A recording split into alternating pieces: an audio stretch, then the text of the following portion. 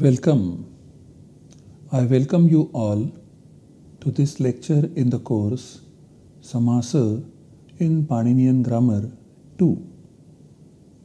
As is our practice, we begin our lecture with the recitation of the Mangalacharana. विश्वेशं सच्चिदानन्दं वन्देऽहं योऽखिलं जगत् चरीकर्ति बरीभर्ति सञ्जरीहर्ति लीलया विश्वेशं सच्चिदानन्दं वन्देऽहं योऽखिलं जगत् चरीकर्ति बरीभर्ति സഞ്ചരീഹർത്തി ലീലയാ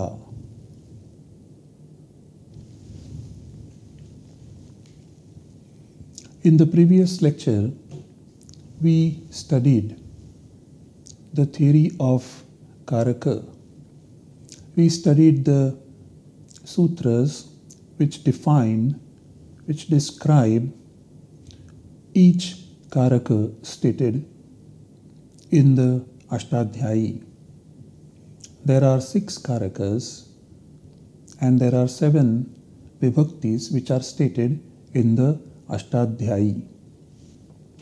We also concluded by saying that it is these karakas which are the pratyayarthas which act as the core meaning element as far as the sentence meaning is concerned. Because it is these meanings which link the meanings of different prakritis and their meanings, prakritis and prakrityarthas. And therefore, it is on the basis of this Karaka theory that we proceed in understanding the theory of compound formation. We stated earlier that the theory of compound formation can be generally called as Samartha theory.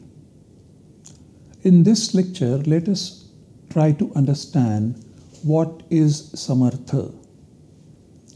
Now, there are two meanings of Samartha available to us straight away. The first one is capable of, and second one is having the same meaning. Samaha arthaha, capable of and having the same meaning. So, when we have the first meaning, namely capable of, what we mean is that the capable of expressing the interconnected meanings. A word unit which is capable of expressing the interconnected meanings. So, a pratipadika by itself is not samartha. From the point of view of one position, as it cannot express the interconnected meanings on its own, in other words, without the pratyaya getting added to it. It has to be a pada that is a subanta and in other cases it has to be a tinganta which is then capable of expressing the interconnected meanings. So, samartha refers to capable of expressing the interconnected meanings. For example, Pitambaraha Kashim Gachati. Pitambara is an example of a Bahuvrihi compound. This means Hari goes to Kashi. In this sentence and the sentence meaning, Pitambara is linked with the action of going denoted by the verbal root gama which is part of gachati as doer of the action of going. Agent or kartru. Kashi is linked with the action of going denoted by the verbal root gama which is also part of gachati as destination or object or karman. So Pitambara and Gama as well as Kashi and Gama are interrelated, interlinked semantically. But as we have already seen, they are not eligible to be compounded because they both, Pitambara and Gama, as well as Kashi and Gama, both are not ending in supratyayas. Pitambara ends in supratyaya, but Gam ends in ting pratyaya. Kashi ends in supratyaya, but Gama ends in ting pratyaya. And we have already seen that a compound in Sanskrit is possible only between two subantas and not between a subanta and a tinganta.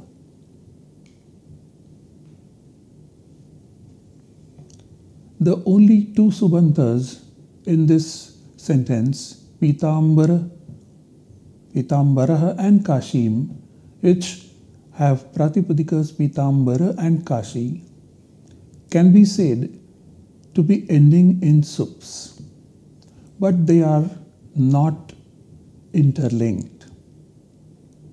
They are not samartha and therefore they are not eligible to be compounded. Similarly, we have Pitambaraha, Kashim, Rathena, Gachati. Hari goes to Kashi by a chariot. Along with Pitambara and Kashi, here Ratha is linked with the action of going denoted by the verbal root gama as an instrument or karana. But like Pitambara and Kashi, Ratha also cannot be compounded with Gama because Ratha and Gama they both are not ending in sups. Similarly, Pitambara, Kashi and Ratha, these are the Pratipadikas which are ending in sups, but they are not interlinked. Therefore, they are not samarthas and are not eligible to be compounded. Now we have another sentence with some additional elements. पीताम्बरः काशीं रथेन पूजनाय प्रयागात् कार्तिकमासे गच्छति meaning Hari goes to Kashi by a chariot in the month of Kartika from Prayaga for worship. Now, along with Pitambara, Kashi and Ratha, as we have seen before, Pujana, Prayaga and Kartika Masa, they are linked with the action of going denoted by the verbal root gama as sampradana, apadana and adhikarana respectively. Pujana is linked with the action of going as sampradana and therefore it has got chaturthi vibhakti pujanaya Prayaga is linked with the action of going as apadana and it has got Panchami Vibhakti, Prayagat. Similarly, Kartika Masa is linked with the action of going as Adhikarana and it has got Saptami Vibhakti, Kartika Mase. But like Rama, Kashi and Ratha, Pujana, Prayaga and Kartika Masa each cannot be compounded with Gama. because they are not ending in sups. Pujana, Prayaga, and Kartika Masa, they are ending in sups, but Gam does not end in sup. It ends in Ting Pratyaya. Like Pitambara, Kashi, and Ratha, Pujana, Prayaga, and Kartika Masa are ending in sups, but they are not interlinked. They are not Samartha and therefore are not eligible to be compounded. To take a recap, we have a complete sentence over here, which is Pitambaraha Kashim रथेन पूजनाय प्रयागात Kartik मासे गच्छति। And the meaning is Hari goes to Kashi by a chariot in the month of Kartik from Prayag for worship now here we have the padas also demarcated from each other by using the square brackets There are two main square brackets indicating that this is a sentence having other square brackets inside. So Pitambaraha plus Kashim plus Rathena plus Pujanaya plus Prayagat plus Kartika Mase plus Gachati. This is what is this sentence. Now, the same sentence can be rewritten with the help of the Prakriti Pratyaya format. So, Pitambaraha can be rewritten as Pitambara plus Su. Kashim can be rewritten as Kashi plus Am. Rathena can be rewritten as Ratha plus Ta. Pujanaya can be rewritten as Pujana plus Nge. Prayaga can be rewritten as Prayaga plus Ngasi. Kartika Mase can be rewritten as Kartika Masa plus Ngi. And finally, Gachati can be rewritten as Gama plus Ti. All these elements, Su, Am, Ta, Nge, Ngasi, Ngi, and Ti, they are part of Paninian grammar. They are in fact the pratyayas. They are in fact the vibhakti pratyayas, where Su, Am, Ta, Nge, Ngasi and Ngi, these are the sup pratyayas and Ti is a Ting pratyaya. Obviously, these sup pratyayas do express the karakas, the interrelation between the pratipadika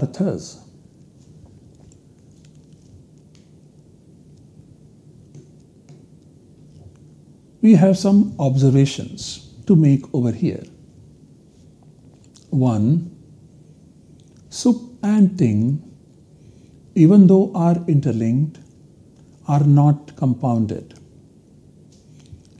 The meanings of the nominal roots playing different roles in the accomplishment of the action denoted by the verbal root are linked to the meaning of the verbal root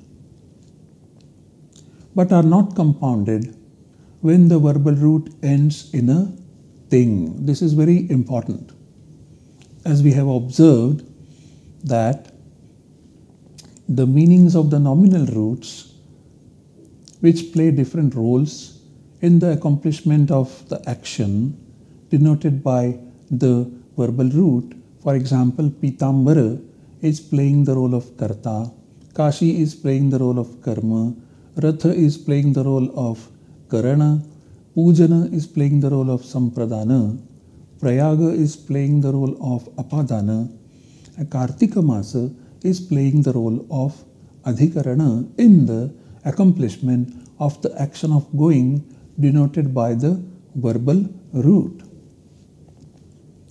So these are different roles in the accomplishment of the action denoted by the verbal root indicated by the respective vibhaktis. Now, these meanings are linked to the meaning of the verbal root but are not compounded when the verbal root ends in a ting. The second observation is that the meanings of the nominal roots playing different roles in the accomplishment of the action denoted by the verbal root, which are linked to the meaning of the verbal root, are not interlinked with each other. I repeat, the meanings of the nominal roots, Pitambaraha, Kashim, Rathena, Pujanaya, Prayagat, Kartika Mase. The meanings of these padas and the nominal roots inside, which play different roles in the accomplishment of the action, denoted by the verbal roots, which are linked to the meaning of the verbal roots, are also not interlinked with each other and hence are not samartha and hence are not eligible for compounding. These are two crucial observations for us to make. So, in conclusion, we can say that the Karaka system is at the base of the process of compounding only as a very general basic background. In other words, Karaka system acts as the skeleton structure of the sentence. Now this sentence can stand on its own without the compounds. But it is this same structure which also holds the load of the compounds. Compounds are fitted into this basic sentence structure prepared by this Karaka theory.